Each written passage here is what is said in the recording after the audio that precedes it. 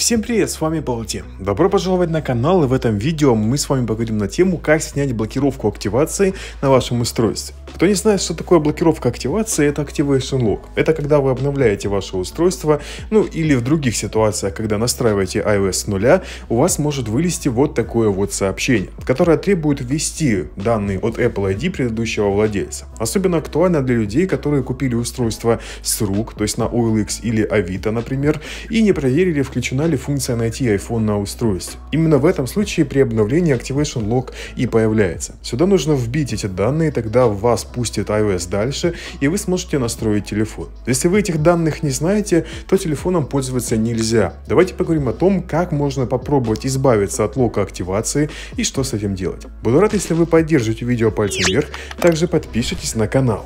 Итак, начнем с приложения, которое позволит постараться обойти эту блокировку. Приложение называется Activation Unlocker.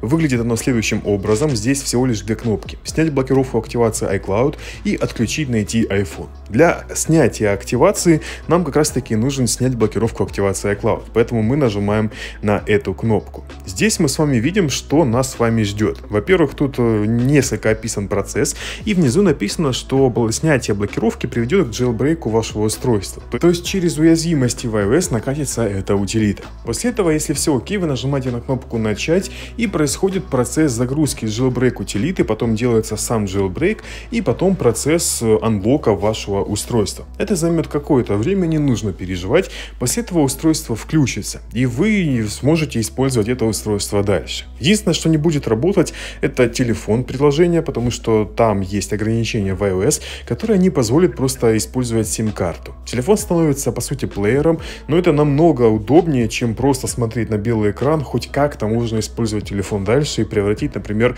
э, iPhone в какой-то медиахаб, ну или в какую-то медиаплощадку для вашего дома. Согласитесь, это реальный выход, как можно попробовать обойти блокировку активации. Какой еще метод есть? Итак, во-первых, если вы подключаетесь к iTunes или к Finder на устройстве с вот этим белым экраном, то просто ничего не произойдет. Компьютер понимает, что устройство под Activation Lock, и он не выдаст вам никакой полезной информации. Не будет доступна никакая кнопка для восстановления или обновления дальше, потому что по факту вы уже обновились и получили вот этот лог активации, который не дает настроить iPhone дальше. Что еще можно сделать? Если вы купили iPhone с рук, то не удаляйте контакты продавца, хотя бы до первого обновления обновления iOS. Если все хорошо обновится, тогда можно удалить. Если же вы получили этот лог активации, у вас есть контакты владельца, свяжитесь с ним, и если человек адекватный, он вам даст этот пароль и email, и вы сможете активировать ваше устройство и после этого выключить функцию найти iPhone. И в теории сам владелец может зайти на iCloud.com и выключить найти iPhone удаленно. И в этом случае